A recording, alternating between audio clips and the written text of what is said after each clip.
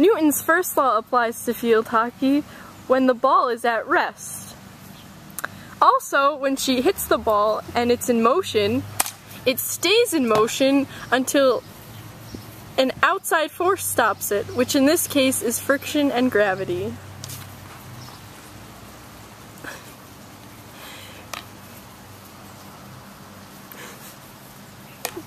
Newton's second law applies to field hockey because if the mass of the ball was 5 kilograms and the acceleration was 20 meters per second, then the ball's force would be 100 newtons.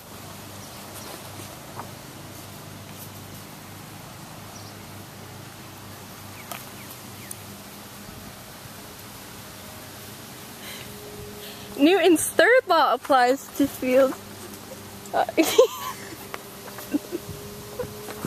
okay, Newton's third law applies to field hockey because if you tap the ball in the air, the force of the ball going up will be opposite and equal to the force of the ball coming down.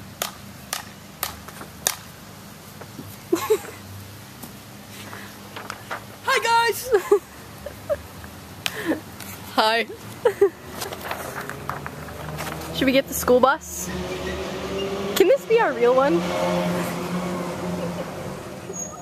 Now, in case you're wondering why this was in our first video, it's because I watched it roll out of my garage to right there and it just stopped.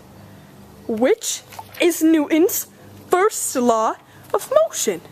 Wow! What a coinky dink. And I just witnessed it happen.